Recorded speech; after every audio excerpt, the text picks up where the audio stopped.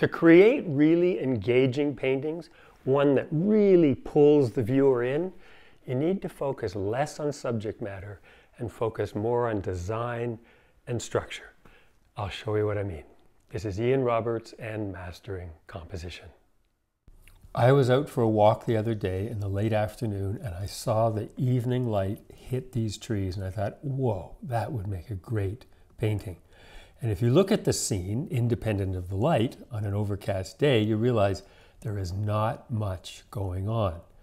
But there's the painting that I did of it, 30 by 36, and I'll show you how. Now I adjusted a few things in the photograph. I filled that in so it was a solid mass. I took all the telephone wires and bits and pieces out of there and I took out the cars. Normally I wouldn't do that, I'd just be working from the photograph, but I'm just sort of showing you what I would simplify out mentally. The other thing is look at this where I've got one big warm lit shape against the whole big shadow shape. There's a very strong, important contrast there that is fundamental to the image. And look at the structure. I mean, look at the vertical here, horizontal, say across here at the horizon line to a center of interest. But in addition, look at the other structural elements of how many pieces are in horizontals and verticals leading up to, plus all these coming back here, leading up to this strong, the entire picture plane is engaged in all these horizontals and verticals. It is very design driven. And in addition, I'm gradating both that shape and you'll see this shape. So they're active and pushing us also into the image. You can see there's a lot of attention given to design and structure before I begin. I did all of the block in and actually most of the second layer all with this one and a half inch chip brush.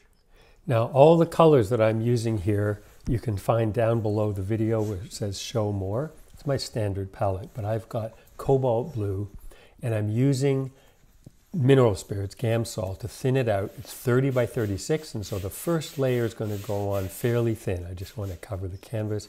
Then I'm gradating this down with cerulean blue and a little touch of phthalo green because as the sky goes from blue to warm at the horizon, it has to pass through green. So there's a sort of a green layer there. Uh, probably more exaggerated than you'd see in nature, but you'll see by the time it's gradated it works.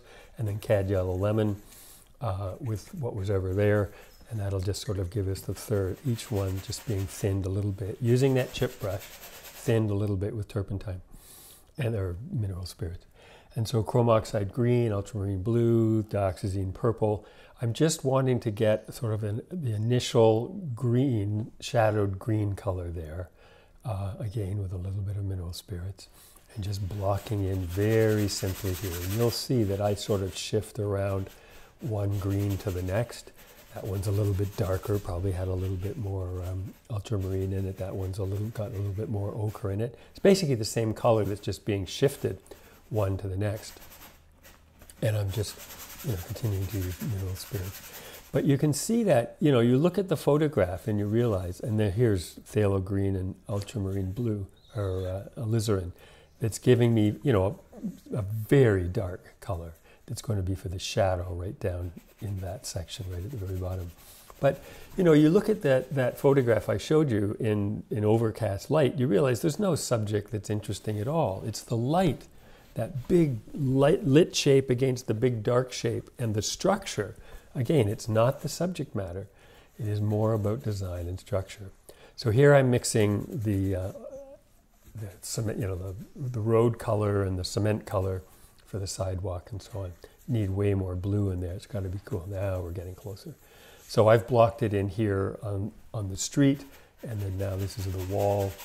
Uh, I've got a little bit more ultramarine, it's a little cooler on that one, just to sort of create some differentiation. But you see, it's very simple, the shapes, right? I'm just not, there's no details going. This is the color for the asphalt in the foreground, kind of a deep purpley blue color. And I'm just scrubbing it in. Uh, you know, it's a one and a half inch house painting brush, and that's pretty much what I'm doing to it as well. So now I've got all the shadow colors in, and now I'm going to start putting in the lit side, the evening light. And so I've got yellow and orange, and I've got a color here with a little bit of mineral spirits. And I'm looking at it and thinking, you know what? It's too dull. It's, I mean, I've put it in, but I'm sort of thinking that at this point. So now I'm getting way more yellow and way more orange. You can see the orange comes in a second. And I get it, I'm just getting a hit of color that says, oh, okay, now we're really making a point of getting this temperature shift vibrant so that it's carrying the painting, creating the engagement, creating the interest, this rich, warm color against the big, cool colors. So that's what I mean in terms of engagement. The engagement comes from creating contrasts. Obviously, there's a subject in terms of trees and road, but it's the engagement of this warm and cool, big masses that is really what the painting is about. And there's the finished block in. You can see that I've put in the tree trunks and the telephone pole.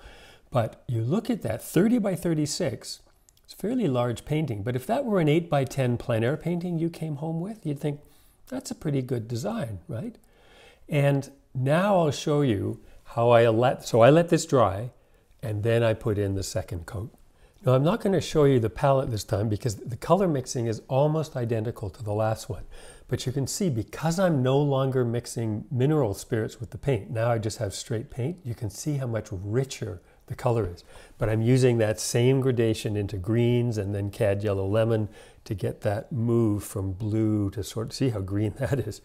Um, and, you know, I just put two colors in there and then just, well, you'll see in a moment, you know, just sort of brush the edge. And then I take a brush with no paint in it at all once I've sort of got them, and then I'm just sort of doing this big sweeping motion to kind of get that gradation in there smoothly. And then now you'll see that as I paint, the paint's thick now. I mean, there's quite a bit of paint on there. But you'll see that in addition, you see the color's not that different when they're just dull colors like that. There, you'll notice I'm getting it darker on the outside edge. So it just kind of gradates in and pushes our attention along that fence into the painting. And then I did quite a bit of painting here on these palm leaves because I'm sort of painting the lights in. And then I'm sort of going back and painting the darks, carving the darks back in it in order to get that uh, interplay of those uh, palm leaves. And here you can see the color is getting richer, right? And I, I even push it further than that. So I'm just really taking the same colors without, and there's sort of a couple of spots where it gets quite orange in the photograph, so I put those in. And then I just had that line straight across and I realized it's too even, so I just pushed it up on one side, pulled it down in another just to kind of break it up. But what I'm doing now is adjusting the edges, where the edge is joining the sky, and then how these palm fronds are sort of sort of coming in together, sort of give the sense of the fronds themselves.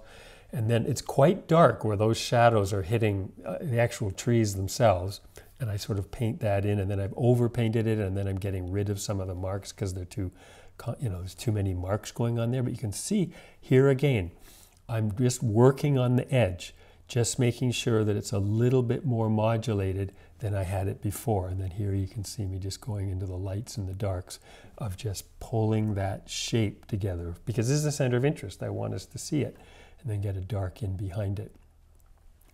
Then there's a little bit of red paint on. There's the gradation I was mentioning in the in the beginning. That I just have it going darker there and gradate it up because that pushes our attention from dark towards light. And then there's that line of paint along the the road, and then I get a really like a light, thick paint on top of the thick paint that's already there, and just draw in the tree trunks, the palm trunks both of those go in. And you, there's a lot of light hitting those things, and so you really need to make them stand out.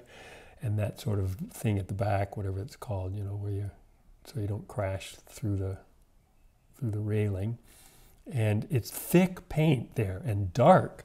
So I'm having a lot of paint in order to get this paint. It's all wet now. Uh, and then sort of clean up the bottom edge of it here. So you need to use a lot of paint to sort of clean up those edges or to get a light color on top of almost what's, you know, it's almost black, it's so dark. And there I'm just sort of getting some darks in to create some more shape to that tree over there, sort of flicking the, the brush to sort of have it come around the form a little bit. And then I'm putting in the last little bit of that blue sign and the, uh, the posts that hold them up.